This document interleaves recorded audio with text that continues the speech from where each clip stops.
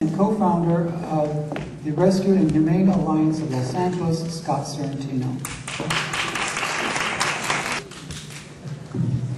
Thank you. Um, thank you all for coming. I know that uh, a lot of you have adoptions today or uh, adoptions tomorrow or this weekend, so it's a it's quite a uh, it's it's wonderful that you've taken the time to come out today. And um, far be it from me to ask any of you, um, especially those of you who um, are are uh, daily involved in rescue, to do any more than you're already doing you are definitely the doers in the community, and the fact that you've uh, come here also shows that you're also interested in the bigger picture. Um, and uh, I, think we all should give ourselves a round of applause, actually, for being, for being here. Pet retention is is one of those one of those issues that at the, at the, at the front of it seems like there's no solution at all because you're looking at uh, a public, in, in, a lot of cases, that has not placed animals in a very, in a very hallowed place. So there's a lot of education that's going to have to happen between now and the point when everyone has a pet really feels like they're members of their family and that they are a lifetime commitment and that it isn't uh, that they are not just um, disposable items that when they become annoying, um, they're just going to, to get rid of. It's one of my one of the terms that I really hate in, in, in rescue is this concept of getting rid of animals. And people, unfortunately, even some rescuers use that word every once in a while. I, I, I would implore you to try not to use that term. Um, if you catch yourself saying get rid of an animal, you know, give yourself a little, you know, something and, and figure out a better way to say it because we're not, we shouldn't be even um, in the place to be thinking about getting rid of animals. They are, they are sentient beings. They are beautiful creatures.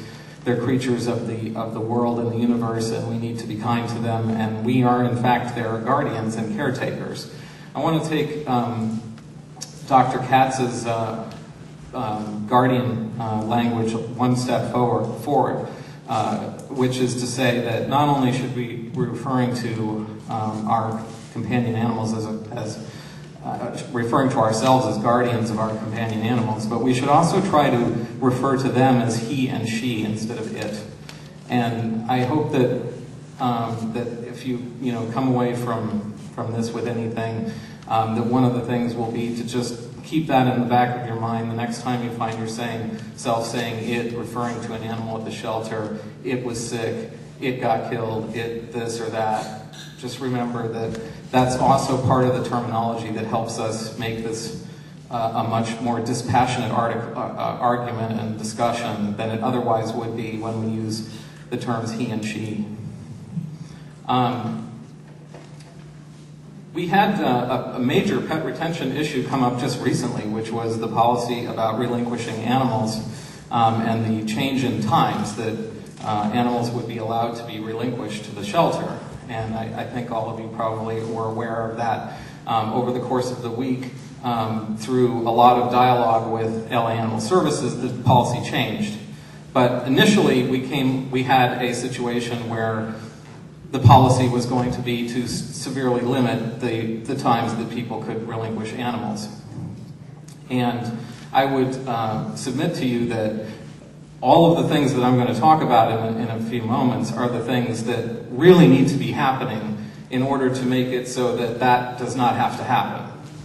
We shouldn't really be in the position where we have to close the doors because there's so many animals coming in we should be looking at all of the things proactively that can be done on the front end to stop animals from getting there in the first place.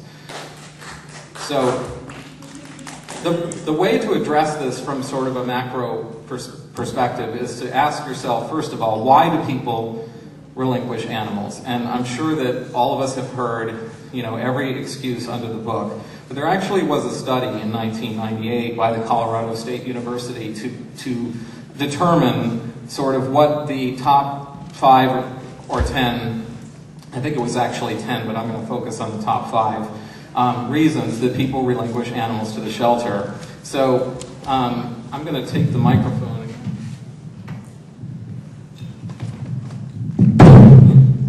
Sorry, I'm going to come over here because I want to get some input from, from all of you. Um, just uh, off the top of your head, what do you think is the number one reason people relinquish animals to the shelter? Urinating outside the litter box. Urinating outside the litter box. Well, that's pretty specific to cats. Um, how about like more general types of things? Moving. Okay. Where, and you think that's the number one reason? Okay. Well, let's put it up here. It's actually two. Okay. How about another reason? Behavior. Behavior. Number five. Well, that would be that would be in behavior. Somebody from the back. Yes. Sick. Okay.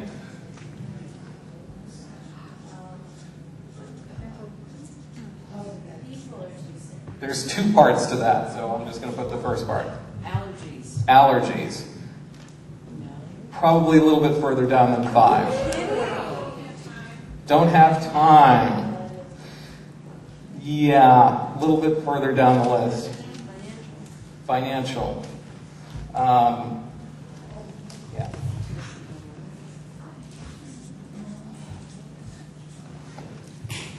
Okay. Still going. Yes. Had a baby. It's not one of the top five. Landlord. That's a good one, but it's not in the top five. Yeah.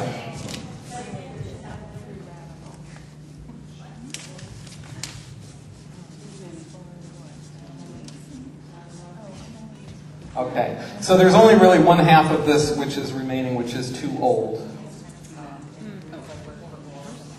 So there's our top five according to Colorado State in 1999. Too old, too sick, moving, cost, too many animals, and behavior.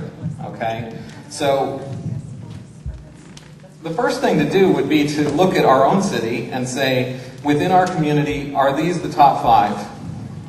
And if they're not, then we should look at what the, our top five are because we want to address for our city our top five. But let's just, for the sake of argument, use these for the moment and say, what do we currently have in our city that will address each of these issues? Too sick, too old. Someone raise your hand and tell me a program that we have that deals with this problem. The number one problem, according to Colorado State, animal is too sick or too old. What's the program that we have to help help someone in this situation? Yes. Seniors for seniors. Is that actually happening, Ed? It is. It's just approved by uh, city council and should be up and running shortly. Okay. Yes.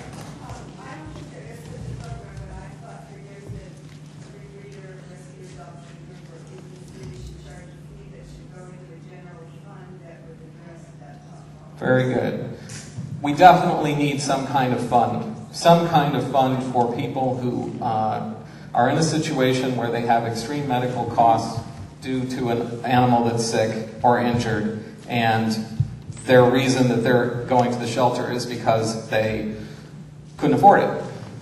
I'll, I'll give you one quick example, and this is more about the relinquishment counseling side of things. But you know, I'll get around to that in a second. Um, how the need for relinquishment counselors within the shelter, people who can sort of interface with these people, members of the public who come in. Of course, this is an absolute last resort measure because they're already there at the shelter, prepared to get rid of their get rid of their animals. So um, it's not the most effective of all of the programs we might have, but it's certainly important. When we were doing, when our, when the Rescue and Humane Alliance was doing its Perfect Match event, a few days before the event, I went to the South LA shelter um, to talk to Leslie about a few things. And while I was there, there was a woman who was relinquishing a, a cat, and she said that the cat was extremely sick. And so I started querying her a little bit. She was actually at admissions, um, the uh, receiving area, uh, with this cat. And I asked her a few questions, and she said the cat had only been sick for a day, and that the cat was throwing up a lot. And I thought, well, you know, maybe the cat just ate something funny and it's just getting it out of its system. And, um, you know, had, have, have you gone to a vet? And she said, well, I can't afford to go to a vet. Now, let me just preface this with this woman was in tears with this cat. So I said, well, if you could go to the vet, would you, you know, would you want to keep your cat? And she said, well, of course. And I said, well, let's, let's just do that. Let's, let's forget about this for a second. Let's not, you know, burden the shelter with yet one more senior animal. This uh, cat was 11, by the way. And um, let's send you to a vet. So Don Paul, bless his heart, had the name of a local vet close by. Um, we sent her over there. I put it on my credit card just so that she could get it done. And the, I called the vet to follow up, and guess what? The cat had something, some kind of obstruction. Um, originally, they were telling me that they needed to do all these tests. They wanted to do x-rays, they wanted to do, you know, this and that and the other thing. I said, no, no, no, no, just do a basic exam. Okay, about an hour later, they called me and said, well, we don't need to do the blood test and we don't need to do the, you know, the, there, there's just some kind of obstruction and we think that the cat's going to be fine. So here's this, and it turned out to be the case. The cat had, um, had some kind of obstruction, had, you know, eliminated it after about another 12 hours, and the next day the cat was fine. And by the way, the vet visit cost something like $60. So here's a situation where a cat was about to be relinquished to a shelter to be euthanized, essentially, because the shelter would probably uh, take the people's word for it that the cat was extremely ill, like on death's doorstep. And the whole solution was a $60 vet visit. We have to have some things like this to stop these situations from happening because I can tell you if I saw that situation just going to the shelter by chance one morning, this must be how this woman, according to her, this animal was on death's doorstep. So we need to have those kinds of programs in place and we need to have some kind of fund that helps people um, who, who don't who can't afford uh, vet care to get free or low cost vet care. Number two, moving. My favorite one, Everyone seems to want to leave their animals behind. Just had it happen to me next door. My next door neighbor disappears, leaves his cat. Cat's 14 years old and is black. You know, one of the easier adoptions. So um, now, thankfully, my next door neighbor has someone involved in animal rescue lives next door, but not everyone is in that situation. And what happens to a lot of these animals that are just abandoned at, um, at apartment complexes or, or whatever? Uh, landlords probably come and have animal control take them and they go to the shelter and if they're 14 years old and black, they're probably not going to get adopted. So, um, what can we do about this? What can we do about the we're moving problem? Well, one thing is that we have uh, a lot of educational resources in the city of Los Angeles. And a lot of young people um, are very proactive about the animal issue. I don't know if you've had the same experience that I have, but when I talk to young people, they love animals. And the last thing they want to see is animals dying at a shelter. I mean, they just get very, very agitated about this situation. And I'll bet you that if we really reached out to the elementary school and junior high school community, maybe less the high school community just because it's so hard to put on a, a meaningful assembly at high school. I don't know if the last time you guys went to high school for an assembly, but if you go to the movies, you certainly see examples of it. And if it's anywhere as bad as that, I don't know that talking to a bunch of high school students about animals is really going to going to work in, a, in an assembly environment. But Junior high school and elementary school, it certainly would. And if we can get those young people thinking about these issues, thinking about caring for animals on a, you know, uh, for their lifetime and bringing them into the home as members of their family and all of those kinds of things, then at least that next generation will not have this excuse. I mean, this will just be not part of their thinking process, that they would just abandon their pets as a result of moving. Um, another issue is on the flip side of that, why are they saying they can't bring their animals with them? Because the new place that they go, they're going to won't allow them to have pets, right? So what do we do about this? Does any, can anybody tell me a program we currently have that helps to, you know, helps people in the situation of, of, of uh, going, of landlords um, having more uh, available apartments for, for uh, renters who have pets? Any, anybody know of a program? Yes. Give the landlords incentive, incentives, What kind of incentives? tax, tax, tax incentive. All right.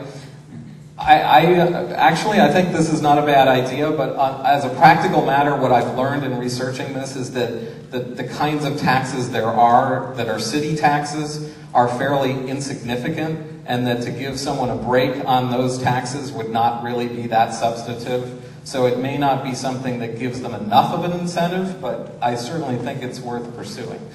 Um, the Rescue and Humane Alliance is really committed to this issue, and one thing that we want to do later on this year is have a summit for property managers throughout the city and getting all the property managers together and giving them a little, a little seminar about why pet, why pet homes are the best renters. People who have pets tend to be, tend to stay in their, in their apartments longer. They tend to pay their rent on time. And these are all documented things. So if we can help the, the, the, uh, the community of property owners to understand that having, that allowing pets is not like some horrible thing, uh, maybe we can open up a lot of homes. Because as you know, the, the cost of buying a home today is prohibitive for most people. So this city is going this way. It's going up.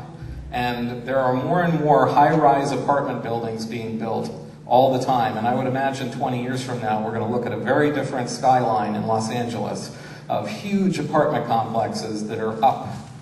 And if all of those places are saying that they won't allow pets, we have a serious problem. But imagine if they said they will allow pets, how many homes could open up? We said how many animals are being killed? 20,000, right? So in a city of 3.8 million people, we, we need 20,000 more homes. I, I submit to you, we have them. They exist right now, those homes. So we need to find them. That's what we need to do. And I think that, that part of what we want to do with our seminar also is that we're going to give an award to the property manager who has the best pet policy. And if we do this on an annual basis and really make a big deal about it and make it a prestigious award, it won't be prestigious the first time we give it, but maybe you know a few years from now, then people will actually think, "Wow, you know, I want to be one of those uh, one of those property owners, property managers that is thought of, well thought of in the community as having a, a great pet policy." Up in San Francisco, at least they used to have a program where there's a fund set aside for any animal, animal-related damage to an apartment complex. Right.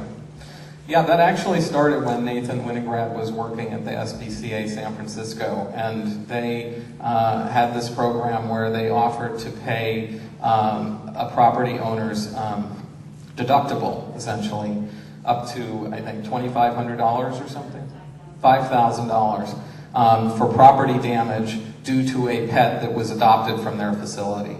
And um, some of you may remember that Gary Michelson made the same promise at the um, at the event that we had to introduce Ed um, uh, a year ago. Um, and I'm not sure what has happened with that, but I don't think it actually has happened. But in any case, it's not a bad idea to press that side of it too, which would be to offer this this fund. And what Nathan says in his in his uh, seminar is that in in the years that he was there, they never once dipped into that fund. So it's a great, it's a great, it's a great offer of nothing, essentially. it's an offer that is an empty offer because nobody ever took them up on it. Yes. Buildings with dogs in them are safer too. Buildings with dogs in them are safer. Yes. I think um, we have to address the liability issue that goes beyond damage, but um, injury among, between animals, because uh, the insurance industry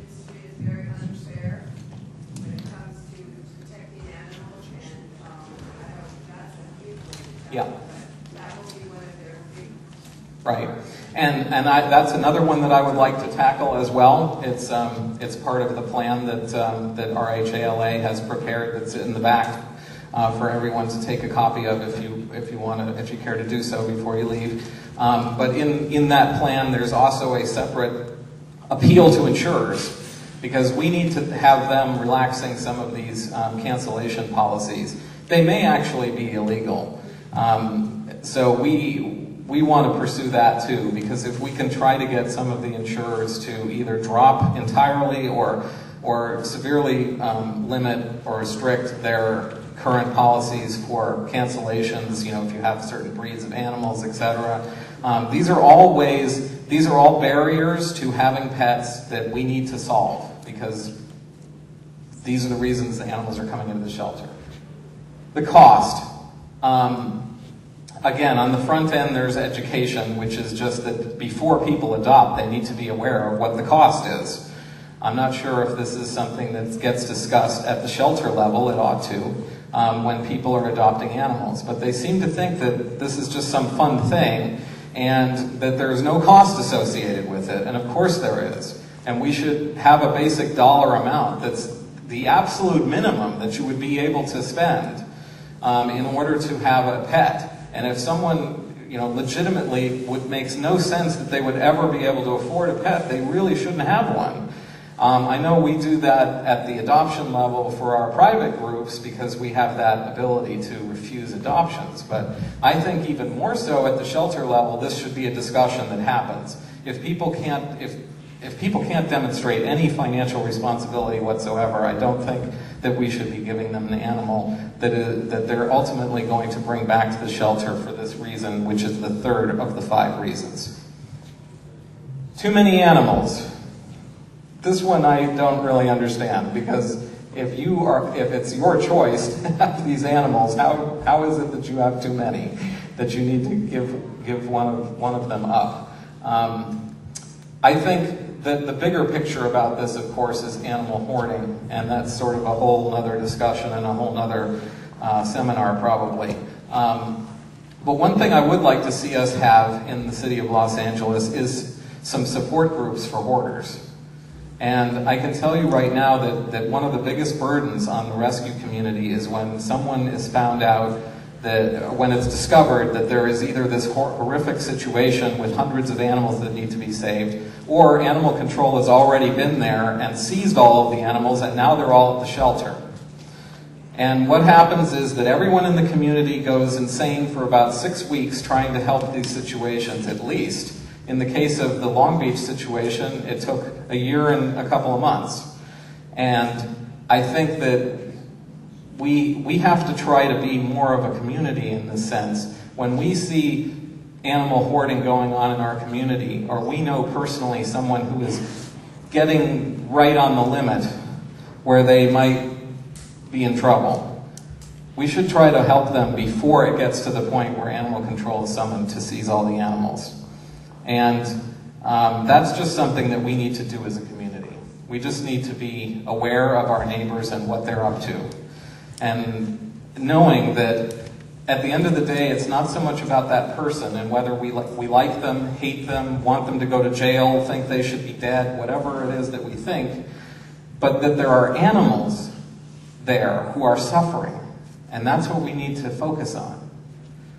So before we say, I can't turn in so and so because they're my friend, it's not about that.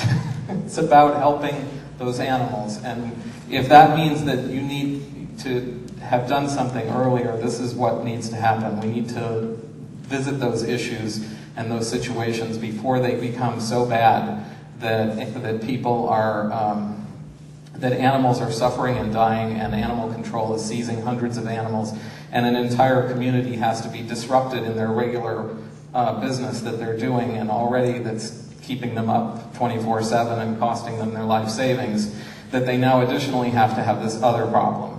So I'm not sure that that's exactly the reason when, you know, for the too many argument. It may just be that people get themselves in over their head, and it's not a hoarding situation. They only have three animals, but they can only really support one animal. And I think we need to have that educational discussion at the shelter again, and, and in our rescue groups as to what people can can viably handle. I also like to ask people if they're planning on having a family. A lot of people come in who are young couples, and um, this is a good query to have with them about what their plans are, because are they the kinds of people who are going to use that we're having a baby excuse two years from now? And better to hit them up front and at least send them home thinking about it. Hmm, if we had a baby, would we want to keep this 300 pound mastiff that we have, or whatever the situation is? Um, and uh, that's something that we can do at our adoptions. The fifth one is behavior. Um, we need a hotline. Plain and simple, we need a hotline. We need a hotline that answers some basic questions about behavior. This is your cat peeing outside of the of the litter box question and a number of other things, barking, chewing, all kinds of very simple things that we may have a very simple answer for, or at least a few suggestions before people get to the point where they're just have, are tearing their hair out. And I think that there's another component to this, which is, you know, people always say, well, you should, you know, get a behaviorist. Well, has anyone paid a behaviorist recently? Like actually had somebody come to their home privately? I mean, we're talking about hundreds and hundreds of dollars, if not thousands of dollars. This is a real industry now. People are making more money as animal behaviorists than as lawyers. So we have a serious problem if we're asking people who are of middle and low incomes to somehow come up with a grant to solve their dog's problem. Um, I just don't think that's realistic. So one thing we need to do is reach out to the behavior community and try to get behaviorists to be able to offer some free or low-cost services to people. And they should be working with the shelter on that. The second thing is, as a, as a subset of the call-in, which is an 800 line presumably or something, where you would call and say, and get a, a menu of different problems and solutions, but then some way that you could leave your number if if this has not sufficiently solved your problem, and hopefully a call back from someone to, to help you. Um, we desperately need this. So here's our five most pressing problems, and I submit to you that we need, uh, first of all, we need in Los Angeles to do the same poll and find out if these are the five for us. I might even suggest expanding it to 10. And then we need to have a program for each and every one of those things. And when we have a program in Los Angeles that answers the question that the top 10 reasons that people are getting, our people are surrendering their animals, then I think we will have covered the pet retention problem. Thank you. Okay, thank you so much. Thank you, Scott. Thank you very much. Our next